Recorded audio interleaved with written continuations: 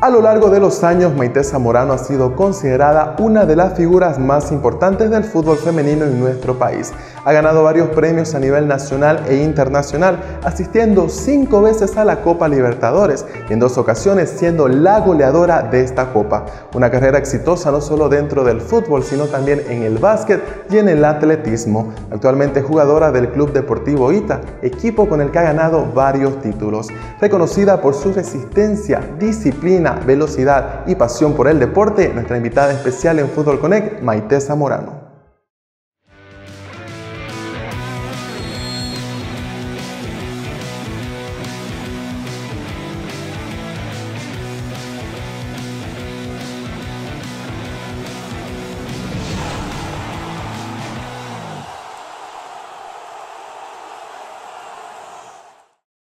¿Cómo inicia Maite Zamorano en el fútbol?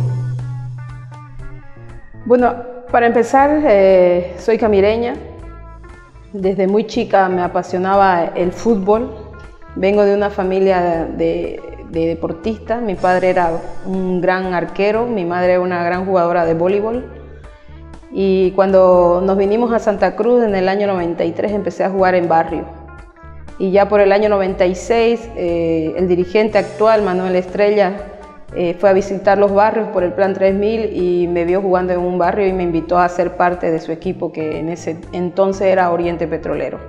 Fue así que inicié en el fútbol, eh, siempre tuve el apoyo de mis padres hasta que eh, me apoyó en todo momento para poder ser parte de este club Oriente Petrolero. ¿no? Tenía 16 años. Y es muy importante el apoyo que su papá le dio para que continúe en el fútbol. Sí, eh, hasta cuando lo tuve en tierra, mi papá siempre me apoyó, me acompañó a todas las canchas. Mi madre siempre desde casa me, apoyaba y bueno, ahora lo hace de la misma forma. Eh, casi a mi madre no le gusta ir a los partidos porque saben que me golpean mucho y a ella le duele ver que golpeen a su hija, así que, pero siempre he tenido el apoyo en todo momento de mi familia, de mis hermanos, de mis tíos y creo que están orgullosos de, de pertenecer y que yo sea parte de su familia. familia. ¿El 18 en la camiseta tiene algún significado en especial? Eh, viene de un ejemplo de un jugador que también lleva mi apellido y es chileno, de Iván Zamorano. Recuerdo muy bien que Ronaldo llegó a un equipo, Ronaldo Nazario, el fenómeno, y Iván Zamorano llevaba la 9. Y en ese entonces Ronaldo era una estrella a nivel mundial, fue el, y se la dieron a él. Y él como, como este, que, dándose lo que él merecía esa camiseta, optó, porque él también fue un gran delantero, por la 18. Y dijo, aparte de que él nació un 18, él dijo 1 más 8 es 9. Entonces, en mi caso, viene a ser lo mismo, porque tenía una compañera que, que actualmente ha vuelto al fútbol femenino, que es Natalie Rivero, que le gusta la camiseta número 9. Agarré y se la cedí y entonces tomé el ejemplo de Iván Zamorana. Agarrar la 18 y desde entonces no la suelto.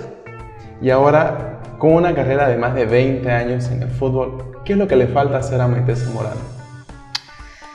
Como jugadora, eh, creo que he ganado todo.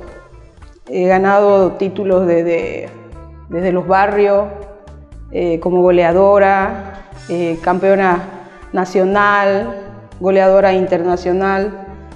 Eh, no, no, no creo que me falte algo. Simplemente sigo de pie porque esto es mi pasión, esto es lo que yo quiero hacer. Y año tras año trato de dar lo mejor de mí y bueno, si salen premios individuales o, sobre todo que lo que queremos es grupal, es porque lo trabajamos y lo venimos haciendo con mucha pasión y dedicación. Con una carrera de más de 20 años, Maite Zamorano se ha dedicado a trabajar por el fútbol femenino, sobre todo con su ejemplo de constancia y disciplina. Su éxito está construido con mucho sacrificio, pero eso ha logrado convertirla en la gran estrella del fútbol que hoy en día es. Para mí es un significado importante que siempre me ha motivado a seguir mejorando, porque sé que hay mucha gente que, me mira y quiere ser eh, seguir mi ejemplo y bueno, como tal yo quiero trabajar y demostrar de que el fútbol femenino es, es grande y tenemos que demostrarlo, que somos jugadoras muy talentosas, pero es trabajando. Hay mucho el reconocimiento, sin embargo también la responsabilidad es parte de esto, porque mencionan que muchas personas la ven y es cierto, muchas señoritas se le acercan y le piden una foto y ven cómo es su actuar, ven cómo es su jugar. Es mucha la responsabilidad en esto también.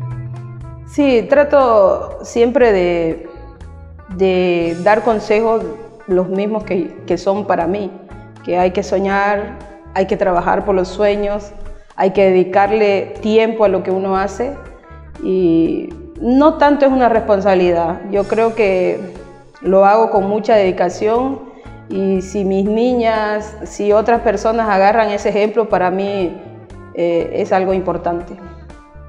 Ahora, como jugadora y como entrenadora al mismo tiempo, ¿cómo ve la situación actual del fútbol femenino?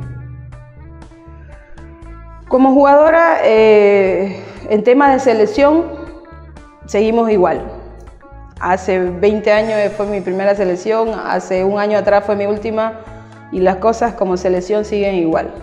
Pero como equipo, este año ha mejorado. Creo que hay poco a poco un avance y esperemos que el fútbol femenino siga siendo reconocido y que hayan otros clubes tan importantes interesados en el fútbol femenino, a pesar de que lo están haciendo por una obligación, pero ya es un inicio para que el fútbol femenino como club vaya creciendo. Hemos mencionado en varias entrevistas el orgullo y el honor que significa vestir la camiseta verde. Sin embargo, ¿qué es lo que se siente como jugadora al ir a otros países y enfrentarse con selecciones femeninas que ya llevan bastantes años siendo profesional? ¿Cuál es el sentimiento? ¿Hay inseguridad, miedo? ¿Qué se siente? Yo creo que para nosotras es un reto. Primeramente es un reto poder vestir esa, esa camiseta. Es es un orgullo y hay que darle mucha pasión y mucha dedicación, porque sabemos a lo que estamos yendo.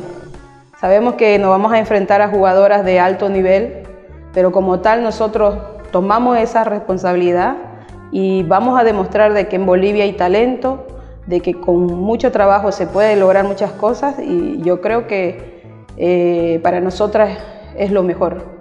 Yo creo que como jugadora eh, es es algo que no se puede explicar, porque cuando tú entras ahí sabes que, que sos Bolivia y tenés que defender a muerte ese color.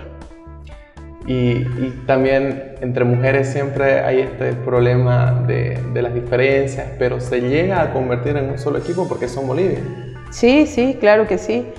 Yo creo que si, si bien es cierto, tenemos distintas maneras de pensar, cuando estamos ahí en la selección somos un equipo, somos un país, somos una familia y demostramos en los juegos, demostramos cuando, tenemos derrota y nos apoyamos mutuamente para seguir adelante.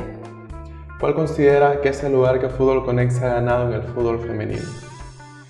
Es uno de los lugares, para mí estaría entre los tres primeros lugares del fútbol femenino, porque gracias a Fútbol Conex eh, ha hecho conocer a muchos clubes, ha hecho conocer a muchas jugadoras.